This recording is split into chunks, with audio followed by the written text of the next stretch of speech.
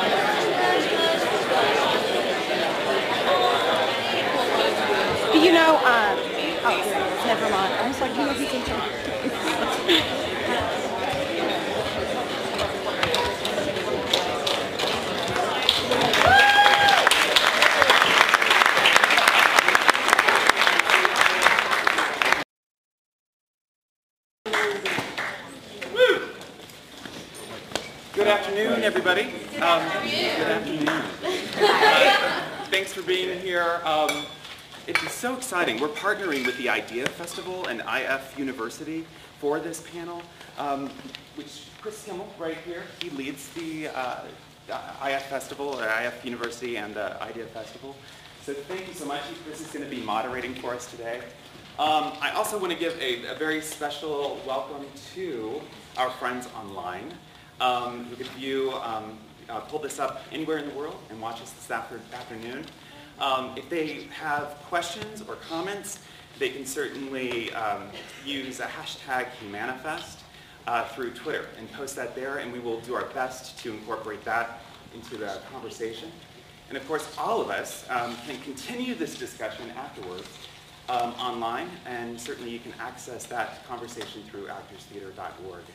I believe we are ready to go, so Kris? Thank you. Yeah. Yeah, thank you. Uh, Thank you all for coming out on a Sunday, a beautiful Sunday at noon. Um, You're uh, dedicated, hopefully all, the discussion up here with you will, uh, uh, will make that, have made that a good choice. Again, again, thank you. My name is Kris Kimel. Um, I'm the founder of the Idea Festival, uh, as well as president of the Kentucky Science Technology Corporation, which is the parent company over, over the Idea Festival.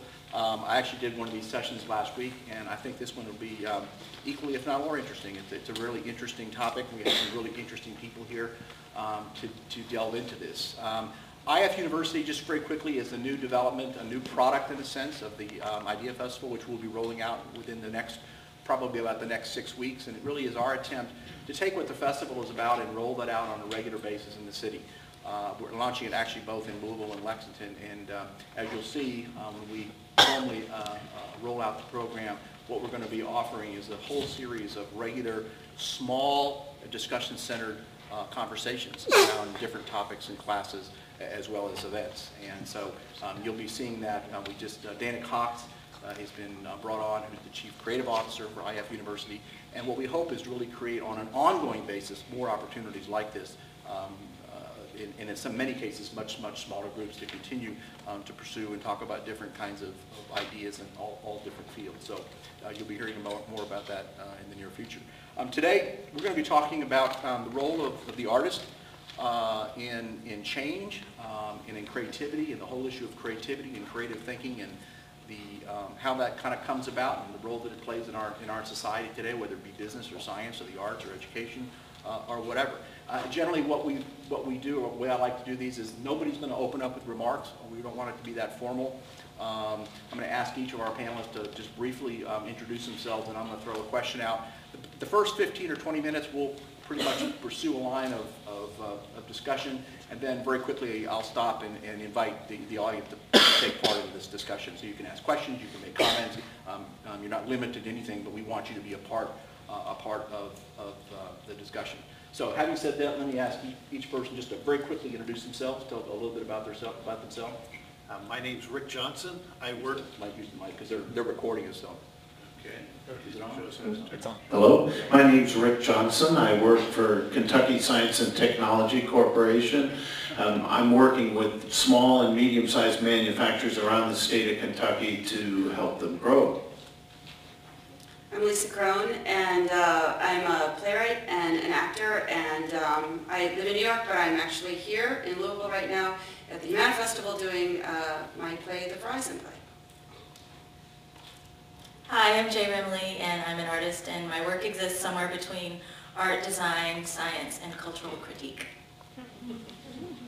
Thank you. Um, So, having said that, um, we talk about the issue of the role of the artist, uh, creativity, et cetera, and how, uh, what the artist brings to a particular situation. Um, I'd like to start out by asking, is in fact, we talk about design thinking, we talk about science thinking, um, et cetera, et cetera. Do, do in fact, um, do artists think differently? Is it, they actually think differently, or they view the world differently? Or what is that unique, perspective um, that an artist can bring to a, any given situation?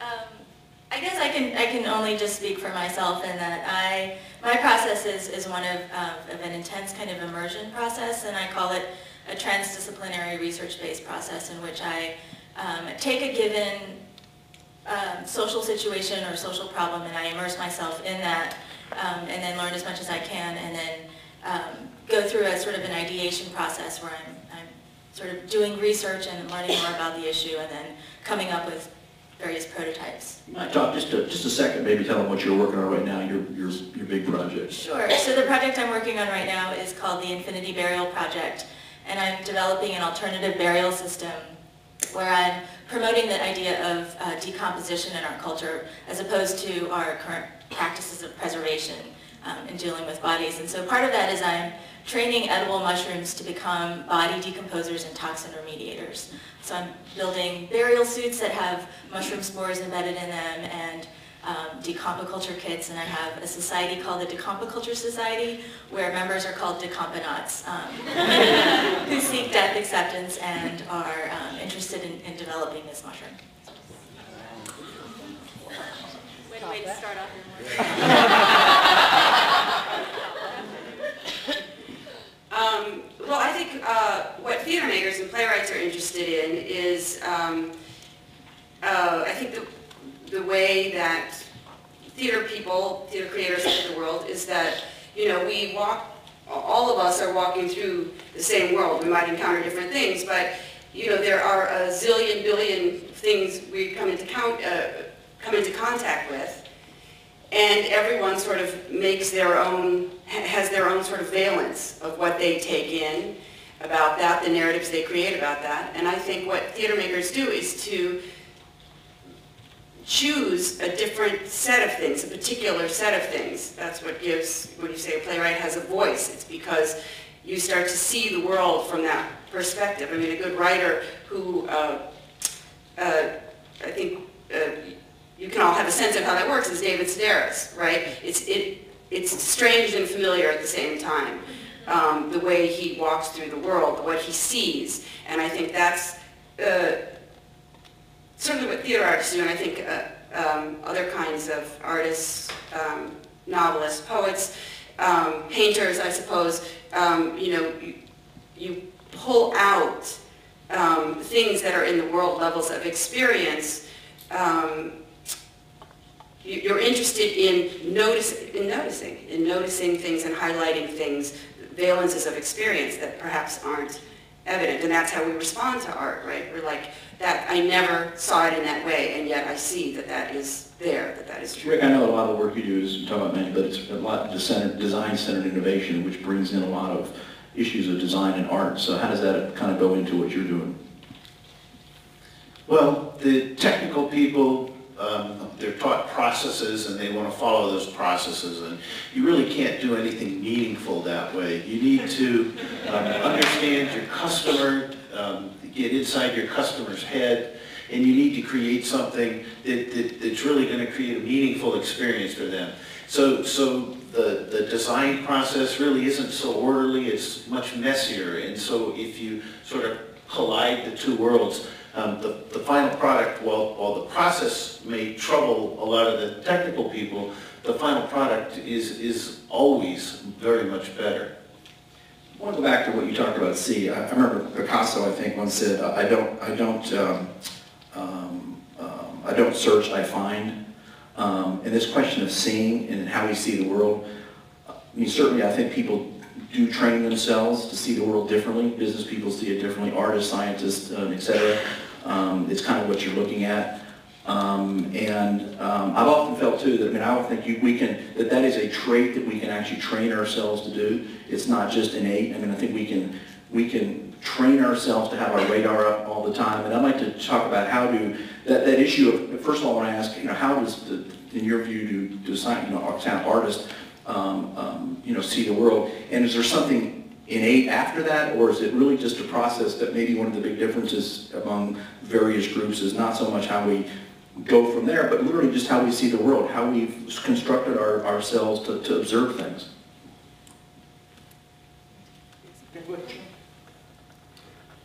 Um, I mean, certainly, that's what a, a writing teacher does, that's one thing a writing teacher does, I suppose, is to uh, teach people techniques to do that. Some people are more interested in it than others. Um, Yeah, I get, uh, we were talking about this before, about how your brain's hardwired, what it's interest, what it, you know, wh- whether everyone is capable of the same things everybody else is capable of if you just understand the wiring, I don't know. People are interested in different things. I mean, my brain won't, there are a lot of, you know, I have a, I have the intention to be really interested in science. My brain won't really hold certain kinds of specificity very well. I don't know if I could be trained to do that or not. Perhaps you all could help me out. I I think one of the things, I mean, one of the many skills that I think contemporary artists, particularly conceptual artists have, is this kind of um, being able to see the opportunities for disruption in any given situation. Um, Just to give you an example, I worked in New Orleans um, with the city's recovery, hurricane recovery office, and while I was there, there were, you know, there were thousands of FEMA trailers that were sitting in lots, right, that the government was paying uh, millions of dollars for, for rental spaces and all that. And I saw that kind of as an opportunity to, to think about the, these trailers in the context of environmental history and the injustices that were, um, that existed in the Gulf Coast and the region. So that was, I mean, that's one example. Um, Also, um, when we talk about, uh, you know, we talk about artists seeing the world differently, and the role, role of art in, in kind of problem solving. Um, uh, I always tell this story because I think it's an interesting story. Back uh, during um, uh, several, uh, 150 years ago or whatever, it, we were um, struggling, a lot of the scientists today were struggling um, with, they couldn't figure out why the sky was, was light um, why it wasn't dark, and it was called Olbers' paradox. And they couldn't they couldn't figure out as to why, uh, with so many stars in the li- in the sky, why in fact the star the light wasn't wasn't uh, evident at, at nighttime. And they struggled with this for years and years and years. And the person who actually um, first wrote correctly and, and actually um, uh, uncovered the reason for that was Edgar Allan Poe in a poem. Um, so I think it gets back to the point where you're talking about disruption. Um, you know, people bringing different perspectives to um, uh, to a problem. I know um, uh, Leonard Shlain, who spoke at the Idea Festival a couple times and unfortunately passed away a couple years ago, wrote a book, great book called Art and Physics.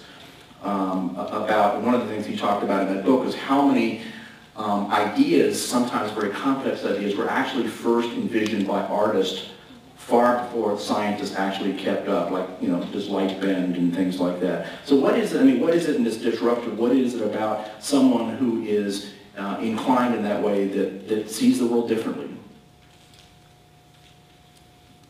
Let me think about it a little bit. In, in engineering, they teach people rules and they say, here are the rules. And, and I think what you need are people that don't, aren't beholden to the rules. Um, uh, you go back to the mouse. The mouse was invented by the Palo Alto, the Xerox Palo Alto Research Center. Nobody did anything with it. The standard keyboard had however many switches on it, keys 115. And how could you do all that with, with one button? You know, and so it took somebody that, that wasn't bounded by, by the rules they were taught. Now we've even lost that one button. So, uh, So back to this basis of kind of all this is based on a platform of creativity. I mean, is, can we, te- can you teach creativity? Is it something you can teach or is it just, you just, you're just, you're just either born with it or you're not? Like anything else, some people are better than others. But I think you put the groups together. I mean, I'm very interested in this idea of, of looking for areas of disruption. I mean, I think that's right. I, I don't, I have no idea whether these things are innate or, um, or can be taught. I, I don't really know the answers to those questions. Um, but I do, I, I mean, I think that's exactly key, that there is a fascination, a, a, an interest in going into an unknown place, going into a, a fissure, you know, that, that feeling that there's something, and, and being interested in dynamism, being interested in change, being interested in, in uncertainty, in, in going toward the, the place where there's, going toward a gray area. I mean, I think that is the difference between people who are, I suppose, inventing something new or interested certainly creatively, but I think also scientifically, and people who are not. Do you go toward certainty or do you go toward that which is um, that, that which doesn't add up. Uh, Let's stop and open it up now and join, invite you to join us. I'd like to- you to follow up on this question about, you know, can, can creativity be taught? I don't mean just to kids. I mean, can it be, is it something that actually can be passed on, or at least some of the traits? Yes, sir. I think that you need a definition of creativity as opposed to originality. Because creativity is synonymous in many areas with just problem solving, and it's getting, you know, come out of education, it's getting a, a lot of use uh, in a lot of areas. But for me, that's different than originality, and, and I'm not sure what you all are talking about. So when you say creativity and can it be taught? When I say creativity, I use it very in a broad sense. You know, the, in a sense, I, I embrace things like innovation, imagination, curiosity, um, the ability to see things differently. I think it also, in my mind, when I see creativity, I also tend to think of it, the applied piece of it too, that it's, you know, someone who, in my mind, is, is creative, is someone who can also take those traits and actually apply them in some constructive way. I take that creativity, whether it happens to be in science, in business, uh, dance, theater, I actually don't differentiate. I think that one of the mistakes we make uh, is that we somehow have, you know, think creativity is limited to artists or something, and in fact, I think some of the most creative people I've ever encountered were scientists um, uh, who thought differently, and actually, many of them, um, to Lisa's point, weren't bound by the certainty. We're actually willing uh, to deal with a lot of ambiguity and, and uncertainty and unknown um, type things. So I, I look at it very broadly defined. Yes, just, Um, I wonder if you, if you would ask the panelists to talk about, like, maybe you can't teach creativity, but you can certainly teach people to be more collaborative, and you've got a room of theater artists who are becoming better collaborators, I hope. So if you need to talk about, because sometimes there's ground rules help collaboration. and- did everybody get that question issue? Maybe creativity can't be taught, maybe, but certainly things like collaboration uh, can be. This is a sort of a small point, but I, um, I mean, I've worked collaboratively, um, I mean, anyone who works in theater works collaboratively. I also uh, worked with the collaborative theater company for many years called Five Lesbian Brothers, and um, we wrote plays together, and um, uh, so I have a lot of experience with this, but I, I feel like there's something important in the, to me, there's a, a key, for me, a key in becoming a writer, for instance, because I was a performer before I became a writer, was the moment when I realized that this uncomfortable feeling I had when I was writing was never going to go away. That that discomfort was actually what it feels like to make something that hasn't been made before. And I do tell this to my students all the time, that you, you, you know, we talk a lot about, um, in our culture, we talk a lot about risk. And I think that there is a way in the sort of Oprahization of our culture, and don't get me wrong, I love Oprah, but there's a, but there's a, a way that we have taken that to mean that you take a risk because that'll feel a little funny, but then it's all going to work out. But the thing about risk is that you don't know whether it's going to work out or not. If you actually know the end point, then there is no risk. And any sustained endeavor, I think scientifically, certainly artistically, you can be assured there will be humiliating, crushing failure at some point. You can be assured of that. That's part of the gig. If you look at any great artist and look at their career, the arc of their career, you will be certain to find humiliating, crushing failure, a period of that, because you can't make something new. If, if you knew what it was going to be, then it would already exist. And I think that's, I, I don't know, you know, some people have a tolerance for that and other people don't. I think creative people, particularly who are creative over time, who lead these lives over time, they have a tolerance for the possibility, in fact, the inevitability, that they will fail.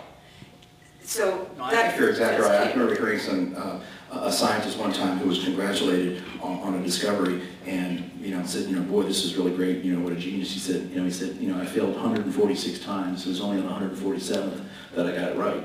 Uh, and I think, yeah, it's an interesting point. and I do think, a lot of times we call it, one of the number one characteristic of, of I've seen or of successful people, I think in any field, uh, tends to be persistence. And whether it's persistence, but I think part of that is you're right, you, you have to have a high tolerance um, for failure and for things not going your way. Um, Guy Kawasaki, who started Apple and Garage.com, I heard him speak a couple of years ago, and he actually said something that has helped me a lot um, through my career. And he said, you know, I'm paraphrasing. He said, don't worry about when people don't jump at your ideas. If it's a really good idea, you have to shove it down their throats. Uh, And, and I think you have to have that confidence in what you're doing. Yeah, and you have to live with the periods where you don't have confidence. You have to live with periods of time where you not only not know if you're going to be right or wrong, but if it's worth anything. You know, if, if it was all, you know, that's, that's actually what it's like. And I think we look at narratives like somebody like Steve Jobs and we talk about all the time, you know, or, you know, any number of people and we say they struggled here and here and here. But we picture that they always felt like the successful person at the end. And maybe some of them did, but that's not what it feels like to be in process. And I think that's the important thing to realize is that that horrible, sick feeling that you are alone, you're crazy, you're wrong, and you're going to fail is what it feels like. That's not a mistake. And I think you have to tolerance for that. Yes, ma'am. Um, I want to talk a little bit about technology and imagination. Uh, I think today we can literally have anything we need entertainment-wise, news, literature, at the touch of a button instantaneously. And I'm kind of wondering now if that leaves any room for the human imagination anymore, if we constantly need to be stimulated. And I was wondering if you think that they can go hand in hand, or if we should focus a little more about letting our minds wander again. Question about the role of technology and tech, you know, and creativity and the fact that we can basically everything we want, entertainment-wise or even knowledge-wise, is at, a, at our fingertips now. What do you think? I just heard a great talk about introversion and the power of introverts.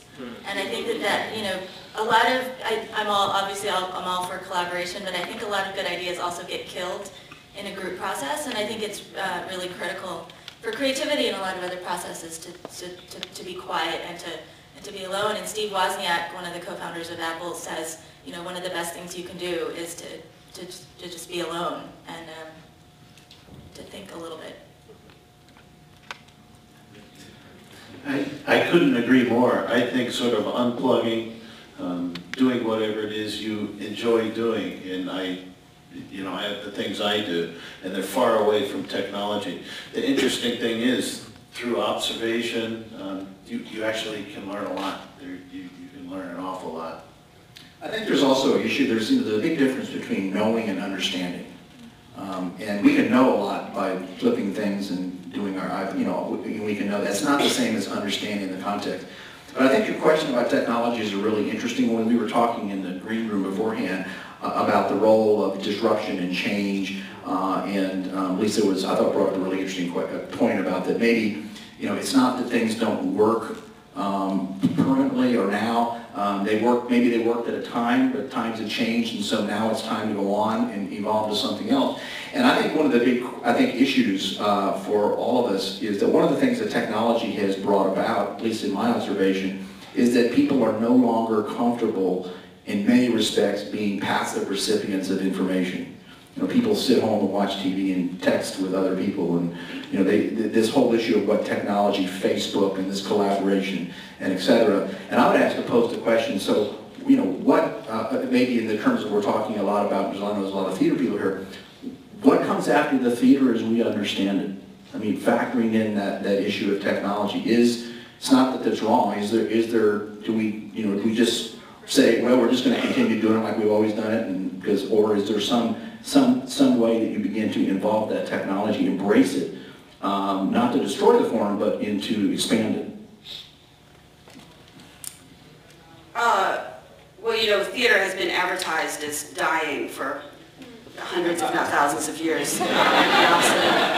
Um, I mean, I, you know, my sort of theory of the core of essence of theater is that theater does, it's the art form that does something that no other art form does. The operating principle of theater is that it um, recapitulates that which is the the truest, most universal thing about human experience, which is that nobody, no matter who they are, no matter how well situated, how connected, how advantaged, how lucky, has any uh, knowledge or control over the coming moment.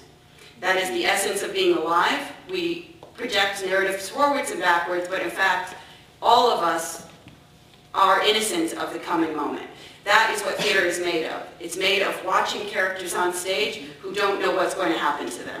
And that, when we feel that truth about life, That's when we feel that we are alive, right? That's why we feel that incandescence at a deathbed, at a birth, uh, after a tragedy, um, in a war zone, because we feel all of a sudden what is true, which is that despite our fondest wishes and our best laid plans, we have no control over what's going to happen next. Um, and it is uh, completely, you know, is sort of the most humanizing thing we can experience. Theater happens in a room with, and, and theater is different from storytelling that way, right? So, and it's something that happens in plays sort of, it happens a lot because we think a story is dramatic action, but a story is about something that's already happened. What happens in the theater is that a person is telling you a story. That story is either going to go the way that I thought it was going to go or it's not, right? That's, I think that's a very important distinction to make. And theater is happening right now in this room with these people, and we also feel that other valence of the theatrical experience. It, we can see the actors doing it. That's why, for some of us, our most vivid moment in the theater is when something went wrong, right? Uh, set fell or something, or somebody forgot their line or something, and then we're really, we're, you know, it's galvanizing and it's electric. Um, that's never going to stop being amazing to people. People are never going to stop craving that. And it can't happen in any other way than it happens in the theater. It's very hard to do it well. But doing it well is so amazing that those of us who go to the theater will keep going to a lot of bad theater in search of that moment where we see that amazing alive thing happen, right? It's so incredible. And that's why it's still, you know, that's why this thousands of year old art form is still being practiced and why I think it won't go away. That being said, there are of course all kinds of technical uh, things that happen in a theater that didn't used to happen. Um, all kinds of ways to create beautiful scenic effects, and now we can also, um, you know, we can video theater and we can look at it in different ways, but we all know that watching a video, even beautifully filmed video of theater, isn't the same as being in the room. Um, so, yes, it has, it certainly ch can change um, many things that we can do in the theater. And there's much more sort of video and all kinds of different scenic things that happen in the theater. But the essence of what happens in the theater, I actually think people are, they will always be drawn to that. And in a certain way, I mean, I feel like, you know, many of the ancient cultures of theater have uh, gone away. I mean, Louisville, uh, this theater is kind of an exception with its apprentice program. That's a very old-fashioned way to learn about theater. But um, I actually think uh, there are, there's a lot of really great theater being made in this country right now. And I think technology, the search for human connection through that is, is mean, technology will become more humanized. And I think the intersection of people who are living in the world of, uh, you know, Facebook and their iPhones and whatever, and also doing theater, is going to humanize those technologies, I think. Let me give another view, though, of, of theater and, and the story and creating the story. The businesses I work with, none of them are good at all at creating that story and telling that story. And um, they, they could learn a lot from theater. Question, comment? Yes. Um, a lot of the online conversation right now tends to be around the um, collaboration and then the, uh, literally, I mean on our panel. Um, and uh, one of the questions that was submitted about collaboration and teaching was, could it be argued that you can teach creativity? If so, are there any thoughts on how? Everybody hear that question? Question is, can you in fact creati- create, teach creativity? And, and the question is, how? Somebody want to respond? Help? Yes, yes, sir. Um, I, I teach acting phenom majors at the University of Louisville, and a lot of uh, the, be the beginning of my work has to do with giving people the permission to imagine, because they're taught, these, most of my students are non-traditional and far older and have come back to college, so they're taught that imagination is for children, and that's kid stuff. So a lot of the work is sort of unlearning, a lot of undoing, a lot of um, Robert Cohen and Kristin Linklater playing and being free to imagine. So uh, I, th I think it can be cultivated and, and fostered um, because uh, we have to learn as a society that you know imagination is a good thing. That's an interesting point because so much in our culture, a lot of these traits we talk about, curiosity, uh, imagination, uh, are, are in fact attributes that are attributed primarily to children. Um, and that's like, you know, you, you need to grow out of that kind of stuff. I mean, that's an interesting, interesting point. Yes, yes, sir, back. Well, I think that uh, creativity is innate in, um, in, in all human beings. We see it in children, every child knows how to draw, every child knows how to sing, every child knows how to tell a story, imagine a scenario, and, and, you know, move the firemen around the city, or, you know, whatever it is. Um, and I think that, um, what gets crushed out of people is their desire to expose themselves to the risk that making an innovative jump poses to them. And so I think that what you do in order to discover and fuel innovation is to create an environment where risks are encouraged, where people's failures, which are inevitable with risk, um, are backed up, and we, we figure out how to deal with failure very quickly, and figure out what ideas don't work quickly and adjust course. But I think that if you create a working environment, either in business, or in technology, or in the arts, where risk and failure are understood to be part of the process and to be celebrated, then you get a more innovative workforce and a more innovative group of people working together to find new solutions to new problems, which is what you're looking for. You're always trying to do more with less.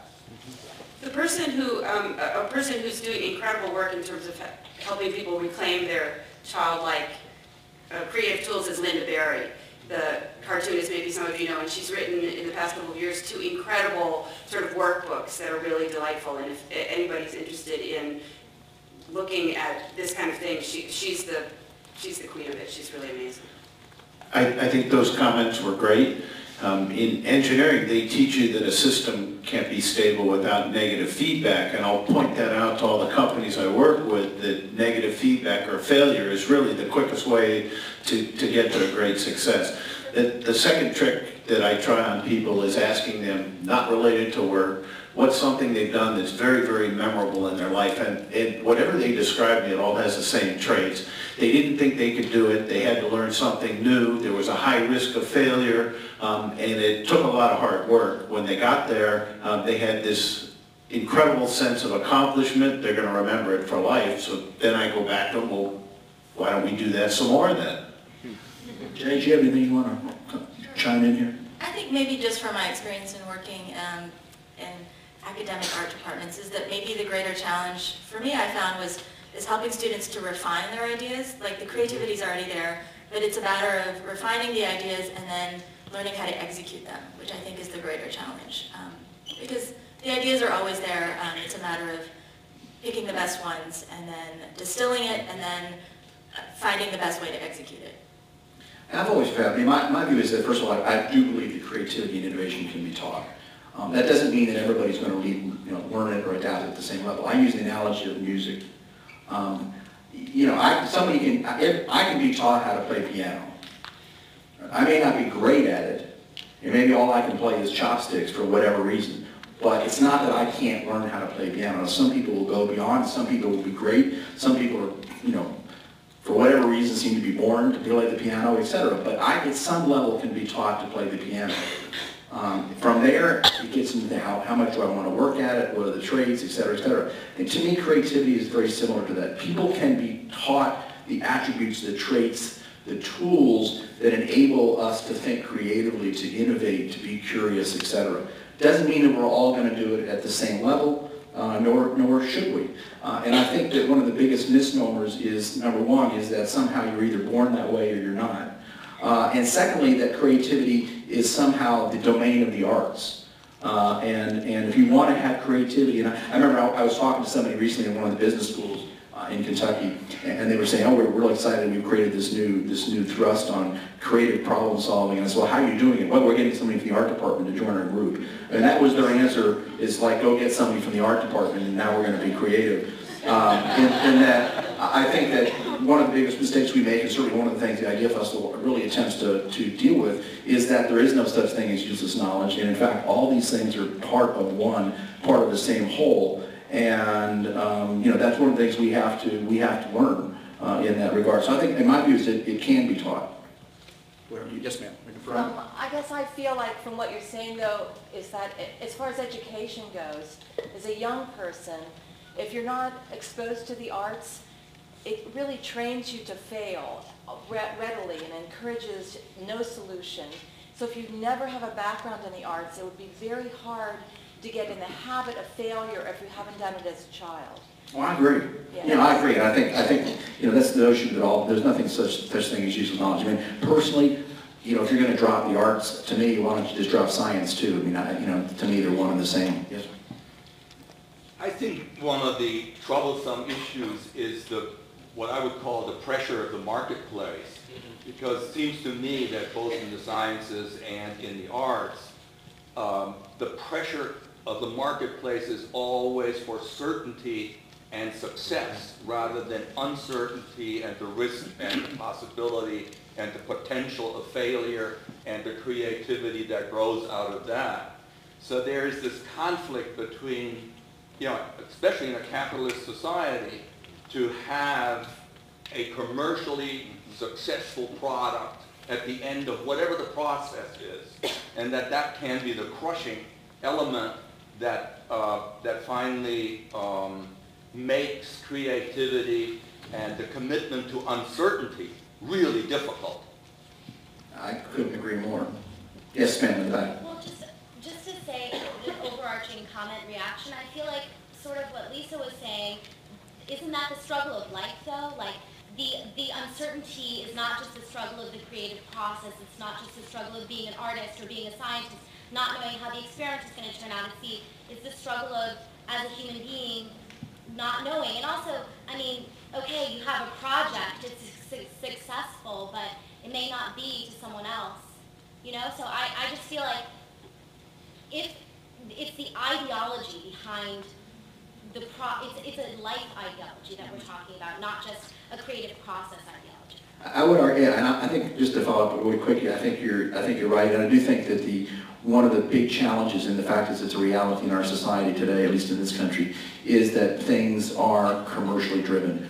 It's not that, um, it's not worthwhile taking risk and being creative, but the fact is if you can't get paid for it, um, you know, nobody wants to, nobody wants to, to back it, and we just live in, we, right now, we live in a very, even, you know, whether it's artists or even researchers, um, uh, you know, cannot basically pursue their work, um, because no one's willing to fund it if they can't see a dollar sign at the end. Yes, sir? Sometimes I think it can be hard to be creative even in an academic environment. Oh, that's some of the worst. When we're, I teach playwriting, and have I taught people to be creative? I don't think so. I think, um, I think I've taught classes in which people have become more creative, and if anything, we just try to trick it out of them. But it's already there to be unfolded. But I'm always so hesitant to grade because if anything, that I'm trying to leave them their fear of failing at the door in a, in a really active way. But just doing it in a classroom, they bring a sense of, am I succeeding or am I not succeeding to, you know, to their presence in the room. Russell? Uh, I'm really interested in, in how uh, there's a recurring motif throughout the room, uh, both in the audience and on stage with the panelists, uh, this idea of,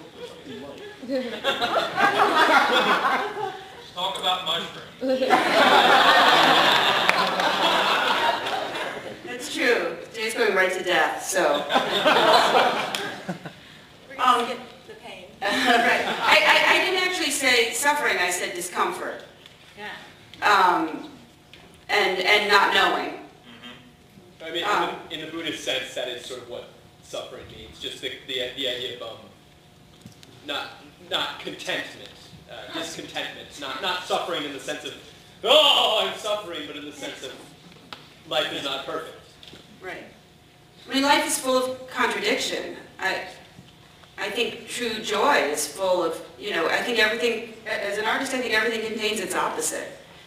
Um, I mean, my work, my plays are comedies. Um, but I think what, I mean, I was really interested in what you were saying. Essentially, I think about craft. You know, there's, there's, there's inspiration and there's creativity, and then there's the long work of making a piece of art. And a powerful work of art elicits feelings. Art is not made of feelings, actually. Uh, you know, in the theater, we make a scaffolding that an, an audience, I mean, theater, theater only happens in the imaginative intersection between what happens on a stage and with an audience. There is no other thing. There's no book or painting or thing that you can take home with you. That's all that it is. And what the audience feels is not what we're doing on stage. It's not what it's made out of.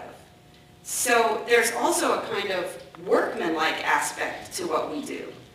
Um, there, there's an initial, I mean, we have to take leaps of imagination, um, of creativity, but then there's this workman-like long process of creating this thing that a viewer, an audience, a reader, a recipient uh, uh, intersects with. And you feel a lot of different things uh, while you're making it. And one of them, of course, is pleasure. Um, I don't know what else to- Anybody else have a thought on that in the yes, sir? I, I had another question if we were moving forward. Sure, we'll come back. All right, cool. Um, so, so much of our conversation has been about the context of creativity within academia or within people who can have impacts on larger capitalist markets, which is a very like, small contingent of people in our country and even less so in the world. So how do you think that conversation about creativity is expanded when we actually try to include more more people, the majority of people, people who don't have higher education, people who don't have enough, who, who barely have enough money to make their pay their bills and can, and aren't going, who aren't exploring other things. Like, how can we, how does this conversation about creativity expand when we take it to a more basic level of I'm trying to get through my day-to-day life? That's a good question. You mean in terms, oh, okay, that's a good question. Let me, not- let me not try to short Let me just open it up. I don't, I don't want, go ahead. You have thoughts? on? I mean, people are creative. Yeah.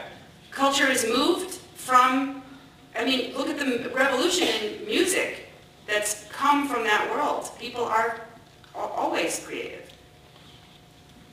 I, I meet a lot of people as I travel around the state, a lot of young people, and I'll ask them about themselves and what they like to do, what they're good at, and to let their guard down a little and what they really want to do? What, what kind of thing do, do they do? And I hear a lot of interesting things, and I try to help those people have, get the courage, the self-courage to do it. And how can I help? I can talk to them, I can introduce them to people that won't reject them. And so I, I've met some young people that, that are now doing some pretty interesting things in their life. And it's not about, it's not about um, money or, it's, it's not about a lot of things. It's about them doing something that they're, that they're interested in doing and maybe were afraid to ask and didn't know how to start doing that. And they took the risk to ask me, and in a few cases, I've helped them. I think it's a good point, because I, I think that one of the big challenges, one of the big problems in our society, actually in the world, and, and our society, is that, in fact, um, you're right, creativity is not limited to any age group or socioeconomic group or, or anything like that. In fact, one of the big problems I think our country is facing today, and why we have so many problems, is that we haven't created enough spaces for people to be creative throughout the strata of our society. So we're leaving thousands, if not millions of people behind who have the ability, um, the creativity, the foresight, etc., um, to help life be um, more enjoyable for all of us, perhaps to solve problems, uh, and that we limit it, um, you know, just to, to a limit it too much. You know, success is only understandable in retrospect.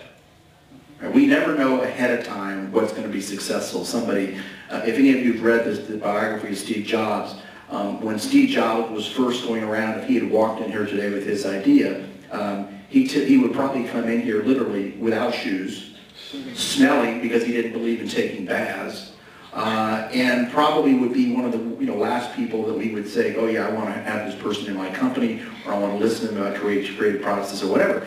And, and the fact is that there is no identification of creative people. And so I do think that one of the, th- the things we do is we have to figure out ways of making the sandbox bigger, involving people like that, giving them opportunities. And, and the most important thing is we have to be listening to them.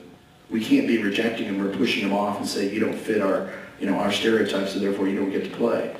Yes, sir. Um, the, we had talked a little bit about um, everything containing its opposite. Every, uh, you mentioned things like learning the piano. Um, and you hear about, you know, mathematicians who work on a problem, work on a problem, and they don't get anywhere until they just go play the piano for a little while.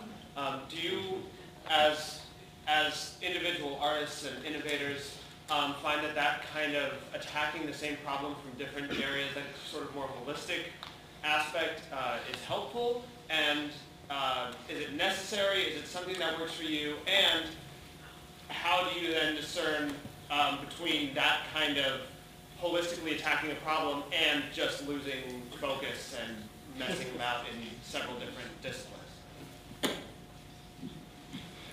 I, for me, um, field trips are kind of an important part of my work, and that, and I've sort of built in that process of, of constantly, you know, going to play the piano into the work um, by making sure that I'm constantly intersecting with other disciplines um, through these so-called field trips. So you can build it into your process in some ways. I, I think the more experiences you have, and then if you just sort of let trying to solve a problem ferment, sometimes those experiences will, will come at you in a funny way. I keep telling Kris I want to teach an IF University course on what my cows taught me about corporate turnaround. I actually think that's a really good question. I think, I think one of the most important things that, that art does is force us to see the world from a different lens and a different perspective. I think seeing the world in, through different lenses is, is the key to disruptive, the disruptive process and the key to solving, to solving problems because we tend to see things in very, very linear ways. Uh, and we've seen through a lot of research that when you encourage people to look at metaphors and to look at problems in, from very, very different circumstances, uh, it, it, it does facilitate um, getting a clearer perspective and perhaps seeing something in a new, fresh way um, that they couldn't have seen otherwise. So I do think that um, you know, actually doing that and building that into our processes, if I can use that word, is, uh, is critical. And I think it's something that we as humans, uh, as people, have to build into our perspective. I always tell people all the time, read everything you can get your hands on. I don't care whether you're interested in it or not. Read it, pick it up, look at it, experience things. You may decide you want to spend uh, the next four days reading that same thing, but it gives you something, it gives you a perspective, it tells you how somebody else is looking at the world or enjoying the world that at some point is, you know, can be beneficial to you. Yes, sir. Uh, I'm a theater education student, and I've been constantly asked the question, with our current education system, is creativity being taken out or ignored? And I've actually come to the conclusion that uh, at face value, yes, but there is still creativity underneath the, underneath the layers.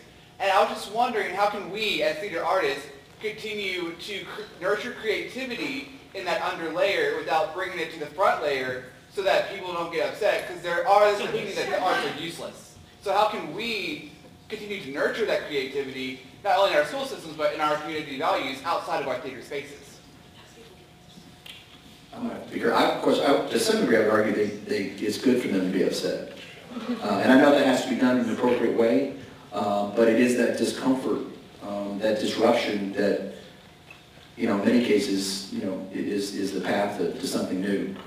You know, else have a comment on that, Lisa? Well, only in that, I, I mean, I was sort of, this conundrum that you're describing, I was sort of uh, wondering this when, uh, when, Kris, you were talking about, uh, you know, the importance of teaching creativity. I, I do think that there's a segment, I think it's probably in human nature, but certainly it's uh, very clear in in our culture right now, which is not in favor of creativity, which, which is not in favor of, you know, which is devoted to a kind of a blind certainty. So there's another question. I mean, we all in this room could believe that teaching creativity is a good idea, but what does that mean when school districts are, they would openly disagree, not even in a subconscious way. They would say that actually is not a good idea. But do they teach you in school a specific skill, or do they teach you how to learn? And so I would look at this as just the start. Um, yes, ma'am, in the very back.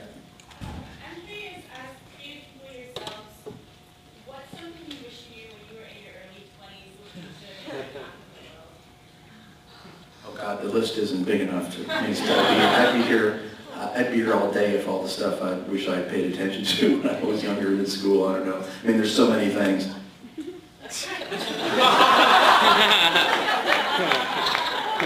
I, I didn't know what I wanted to be when I grew up, and so I kept searching and did a number of different things. And I would encourage anybody to, uh, you know, never lock in on one thing and, and, you know, don't worry too much about what you want to be when you grow up.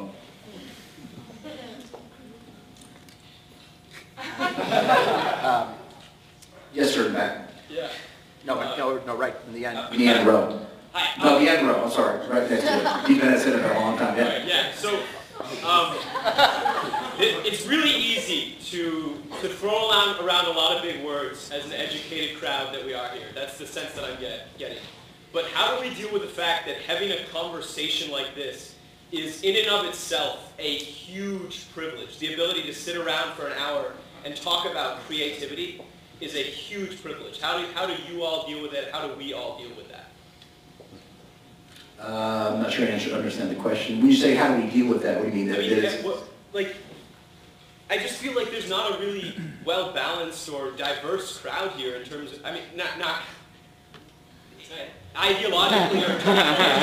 I don't want to characterize everyone's perspective, but it doesn't seem like there's someone representing a really super practical, uh, maybe conservative, maybe, as this gentleman here mentioned, just, trying to get through the day and survive to feed one's family perspective here. I mean, it just, it strikes me that this conversation is very, very uh, lofty.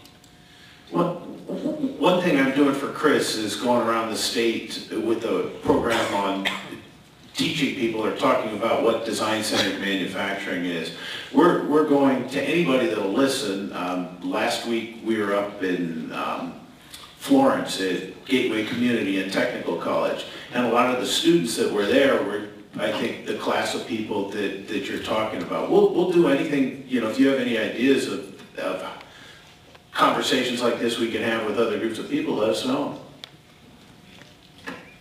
I think, well, first of all, I think that everybody has to decide for themselves. I mean, creativity, I mean, it's like, it's like enjoying reading. You know, there's some people who read all day long and some people who have time to do nothing more than read a couple of pages every day.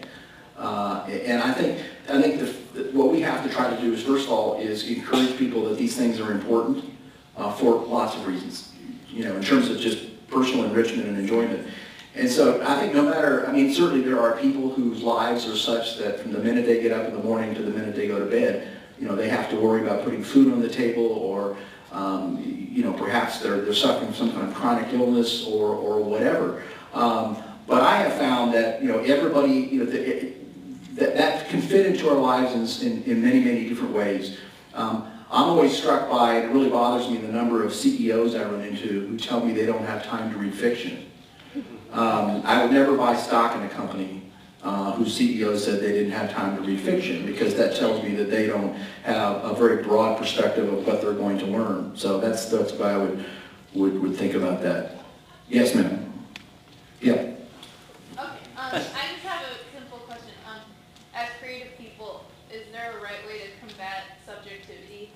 Because any idea is kind of like, anyone could say, that's a good idea, or that idea sucks. Um, so is there a good, do you think individually, is, is there a, a good way to deal with that, or? I say no because you don't know what you don't know what's a good idea until it's all over. I mean, I mean, and sometimes then you don't even know what it is. I mean, it's good ideas are only good in retrospect.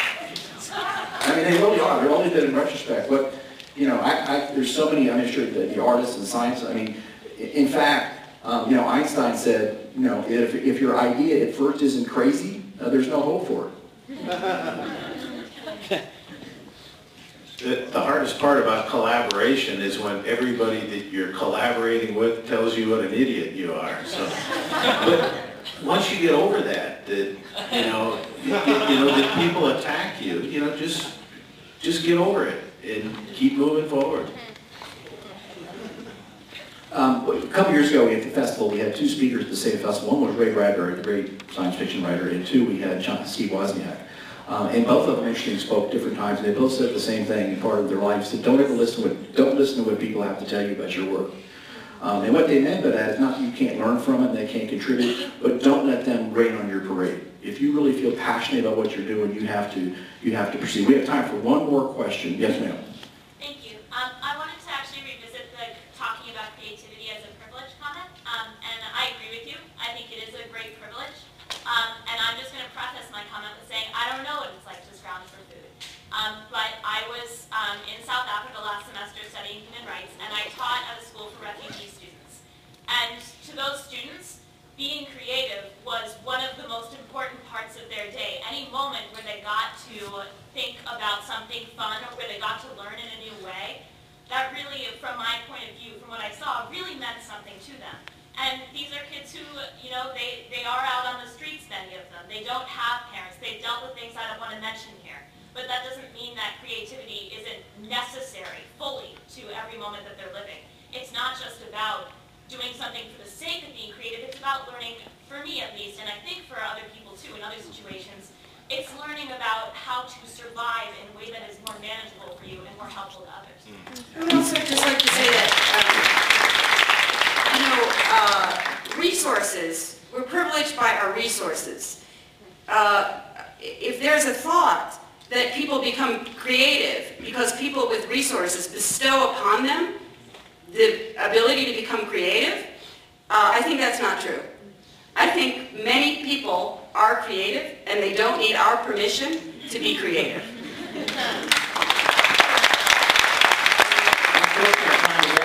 Uh, if you want to do a really a creative act, uh, see at the IdeaFestival on September 19th to the 22nd this year. We're going to release the program uh, in about three weeks, and actually we've got a lot of people dealing with some of these topics. Um, on behalf of uh, uh, Actors Theatre, the um, Festival of New American Plays, IdeaFestival University, thank you all for coming.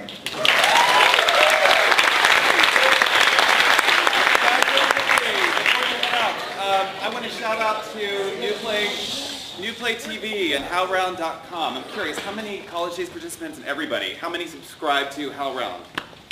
Few hands, few hands. If you don't, Howl, thank you very much in the back row. HowlRound.com. Go there, subscribe. Incredibly interesting. Um, H-O-W-L, round. Owl round, yes. Um, go there, subscribe, essays, interviews, articles, totally worth it.